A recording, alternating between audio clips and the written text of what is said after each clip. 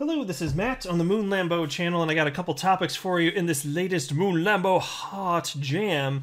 And uh, how about talking a little bit more about additional uh, corruption from the SEC? There's something fishy here, and so I, I'm not going to go so far as to make a claim that there's anything illegal occurring.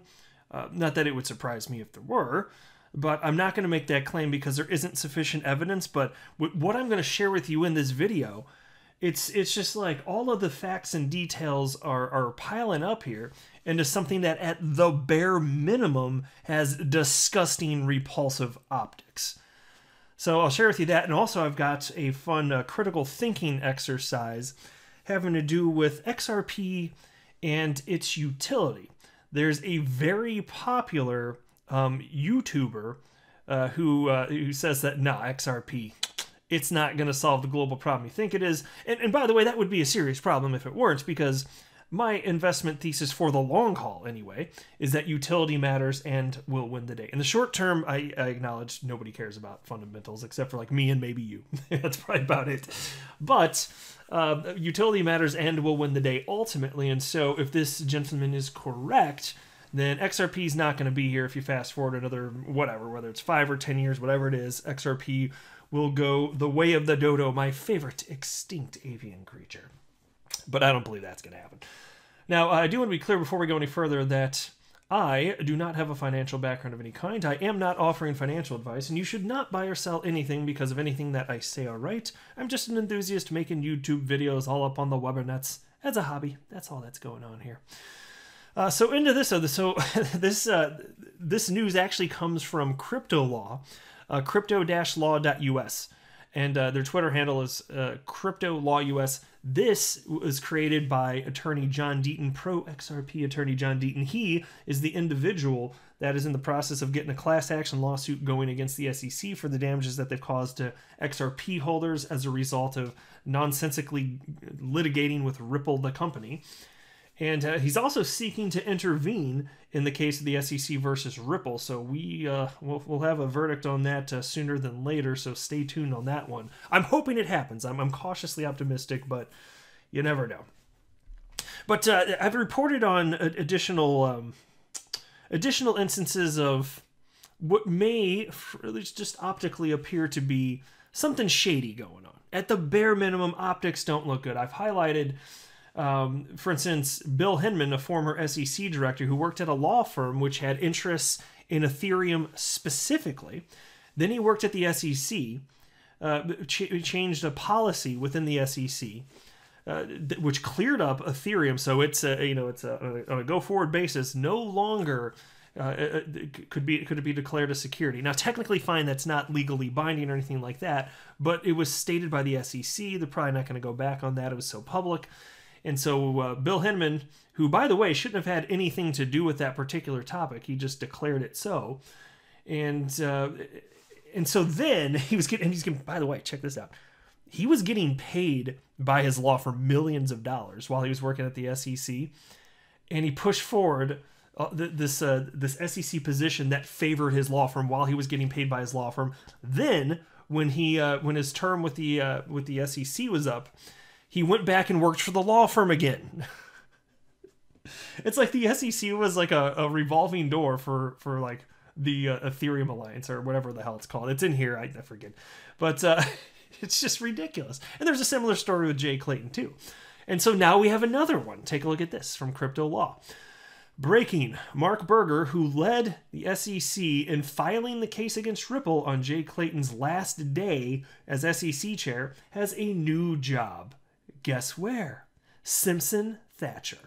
Now, uh, Simpson Thacher, let me jump in here. Simpson Thacher, that is the law firm that Bill Hinman, former SEC director, uh, used to work for, then worked at the SEC, and then went back and then went back to work for him again. Same freaking law firm. Well, isn't this a little bit convenient here? Uh, anyway, crypto law continues. Berger's last big act before leaving the SEC was filing the Ripple lawsuit which which led to delisting slash suspension of XRP on exchange platforms and panic selling by retail holders.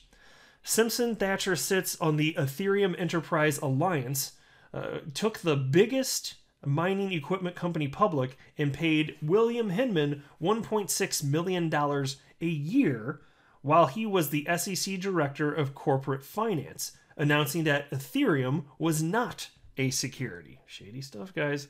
What role did Marc Berger play in the Ethereum public statements by uh, by Hinman while preparing the last-minute lawsuit on XRP before both took jobs as partners at Simpson Thacher? Well, wouldn't you love to know? I'd love to know. And that's why I said at a minimum this looks shady. This looks like it potentially could be uh, something that's corrupt. The optics are not good. I can't make the claim that it is because there isn't sufficient evidence, but it's pretty reason to, reasonable to, at a minimum, question this, don't you think? I sure as hell do. This does not pass the smell test. It absolutely does not. And, and, and then you go back, and I'm not going to go through in this video. I've, I've gone through it ad nauseum at this point, but when Bill Hinman broke down the criteria that they cited as crucial in determining that Ethereum is not a security, that criteria lined up extremely well with factually what is the case for XRP. Yet, XRP and Ripple didn't get the, didn't really get the red carpet rolled out for them. Probably because Simpson Thacher, their law firm, didn't have a vested interest in Ripple and or XRP. Maybe. Doesn't pass the smell test, guys. Come on, it just doesn't pass the smell test. Attorney John Deaton wrote this. I'm sure he, uh, referencing Marc Berger, I'm sure he and Hinman and Clayton never talked about future opportunities related to crypto and ETH and Bitcoin. Oh, I'm sure of it too. of course they did. That's the point. All right, into this now. Um, and uh, shout out to Zerpsy, who ultimately tagged me in this thread here. Uh, and so he had a question. So there's an individual named Mark Moss. Um, I, I, wasn't familiar with this this gentleman, but um, he's got 25 followers uh, on Twitter. And uh, his little bio here reads as follows Studying history to predict the future, sound money advocate, freedom maximalist, uh, privacy, money, and of course, Bitcoin, content creator, YouTube, and podcast. And so it turns out he has a YouTube channel with 246,000 subscribers. So props to him. Uh, that's that's not easy to get to. So uh, kudos right there. So he's, he's probably a rather sharp uh, individual that knows his stuff in a general sense with the type of stuff that he covers, but he said some stuff about XRP that I, I know just doesn't make sense. And so nothing against him personally, but I do want to share this thread and just so we can engage in a little bit of critical thinking. And um, I, so ultimately, I was tagged in this and I did jump in and share my piece. Um, and I haven't, like Mark Moss, if he saw this, he has not responded to this point. Uh, so either he didn't see it or he doesn't want to jump back in, which is disappointing because I'd love to have a back and forth with him. Anybody that is bold enough to say the things that he said about XRP, and I've seen much worse. I mean, I, I just think that you know maybe um, he could use a little bit more of like a, a better understanding of the pain points within the correspondent banking system before jumping to some of the conclusions that he did and having a, a what seems to me to be a pretty f- firm opinion here um, and so I, I, love having back and forths like like this. But here's what Zerpsy wrote. He tagged uh, Mark Moss and wrote the following. So apparently this guy also has a, a an email uh, thing that he sends out to subscribers. And so Zerpsy wrote the following: Enjoyed your email today. Interested in your thoughts on XRP and Ripple in light of what you said. And here's a quote from the piece that he wrote. Uh, when these countries have widely accepted digital currencies, they won't need the US dollar and they won't need Swift. Right. Okay. And so um, Mark Moss jumped in. So that's pretty clear, right? You can see why Zerpsy's asking that. I hopefully I don't need to spell that, just in case there actually are a lot of new subscribers. Maybe I should. You know, Swift is the, is what's uh, you know the entity within the legacy financial system that makes it possible to convert one fiat currency to another and move money around the planet. And so they have a, an archaic messaging system, which they actually did recently update finally once Ripple started uh, competing against them. They're like, oh, yeah, we've got, uh, we're the incumbent. We've been lazy for decades and decades, but now there's this Ripple company. And then they started moving and they have a much better messaging system than they did. But for the settlement portion, they actually do not have a solution, which is interesting here. Now, um, you know, if, if you think that Bitcoin's going to take over the world, and I'm not sure that Mark Mark Moss necessarily thinks that, but if you're of the type that everybody's going to use one form of payment for everything, well, then yeah, you, you don't need Swift, you don't need the US dollar. It's just going to be Bitcoin, Bitcoin, Bitcoin. But to me, that's a fantasy land. So I don't know. I don't want to put words in his mouth. I don't know if he believes that. Um, I hear people, some people say that, the Bitcoin maxi types. I think that that's an unsophisticated lollipop land version of a future that will never come to pass. Like it's just, it's, it's never going to be a thing. Um, and so here's what Mark Moss wrote Why would any government use someone else's private blockchain, especially when they could just spin up a forked copy and go in a day? And so let me pause right there. Um, if, if he thinks that the XRP ledger is a private blockchain, he needs to do more homework on the XRP ledger. The XRP ledger is uh, is provably decentralized. There is no central point of failure. And if you think that Ripple runs it, uh, just know that they do not have any special permissions over the XRP ledger. They run 16% of UNL validators. There, there's nothing going on there, right? In, in terms of special privileges or permissions, there just isn't. Um, and so Xerxes saw that and responded with the following Hey, Mark, you don't see any benefit to the relationships and bridges built by Ripple to encourage use of the XRP ledger? Question mark. And then Xerxes tagged me and wrote thoughts question mark. And so Xerxes, thank you very much for tagging me. I think it's fun to think through this stuff, and I appreciate having an opportunity to chime in and share my piece on this. And uh, and Mark Moss did write back to Xerxes and said, "No, who owns the relationships?" The IMF, central banks, national banks, they can spin up a brand new one in an instant, and they already are. And so there you go. You can spin up a new cryptocurrency. Therefore, XRP not needed. I've been uh, battling these uh, battling these uh, arguments for, for literally years at this point. And and I'll tell you what, when I jumped into the world of crypto in November 2017, this was one of the many questions that I had because if I was going to, you know, continue putting money in XRP, I, I, wanted to see okay is like what are the competitors? Does this actually make sense? How easy would it be to take down? How easy would it be would it be for another company to jump in and replicate what ripple's doing? All, all these questions. Perfectly reasonable stuff to ask. And so I, I, exhaustively looked into this and i ended up finding all the answers that i was seeking. It took a really long time to uh, put everything together but i did figure it out. And so here's what i wrote to mark moss because frankly you know you can't you can't just spin up a new cryptocurrency and it takes over XRP because reasons, you know. And so here's what I wrote. This is incorrect. Cryptocurrencies don't interoperate on their own. You can make a new crypto or clone XRP today, and that doesn't solve the problem. Any brand new crypto at inception will be worth $0 and have no liquidity. In order for a new crypto to fill this role, hundreds, if not thousands, of new markets will need to be created. This won't happen on its own.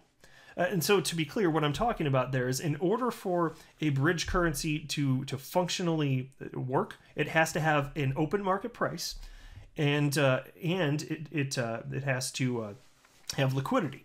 And if it doesn't have an open market price, it can be backed by something, but then you've got that walled garden scenario because nobody's going to just globally adopt a, a, coin that is to the benefit of somebody else in a different uh, region, know, whether it's for geopolitical reasons, whatever it may be, you're not going to get that. And so you're already seeing friction like that in the world today. And so if you, uh, you know, have the same underlying problems geopolitically and from a trust perspective, but you just put it on new technology, you haven't solved the problem. You, you simply have not.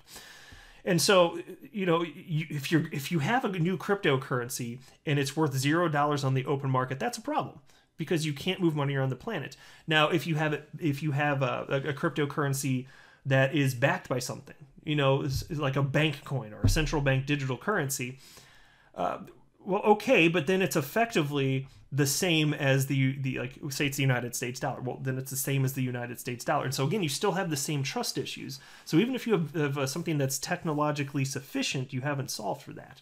And so then I, I, I wrote the problem. Uh, I'm sorry, I wrote the following rather. Um, also, a, a centralized crypto, no matter the underlying tech, does not address the core issue of trust in the correspondent banking system. Even if you overcome those hurdles, who is going to make this happen? Who will create sufficient global liquidity and how? Who will create software to connect all corridors? Who will onboard new customers and how will they be acquired? Who will offer customer support? How will these business activities be funded? How will this business be profitable? And so and so that's that's all that I wrote, and and Mark never jumped back in. But I, I think people, um, it's like they start thinking on the on the like, mechanically how, how, would this work? Like xrp you just think okay well it's, it's doing its thing but you could throw any other crypto in there. But then when you start uh, actually thinking through it logically like okay what would that entail? It all falls apart. Because you have to have a profitable business model to do that. And and so Ripple came up with one, and so you could say, well, another company could come along and do what Ripple's doing, and I'd say, fine, competition, go for it. Maybe I'll invest in both. But if you think that a cryptocurrency is just going to come along and it's it's uh, you know maybe whether it's a central bank digital currency or something like this, something you can't even invest in. Like you don't understand the trust problems, which is a major pain point within the correspondent banking system. So that's not an actual solution. So um, if he does end up um, writing back, uh, then I'll, I'll, be happy to continue the conversation with him and and and just get a better feel for what he understands to this point. But um, and I, I mean no insult to him whatsoever, but uh, he's frankly just w- way off base, and I, I, think he just needs some more information becoming before coming to the, the firm conclusion that he seems to have come to. But uh, that's where we're at write now. So um, I'll go ahead and wrap up there, though. I am not a financial advisor. Do not buy or sell anything because of anything I say are right, that would be a very, very, very bad idea. Until next time, to the moon, Lambo.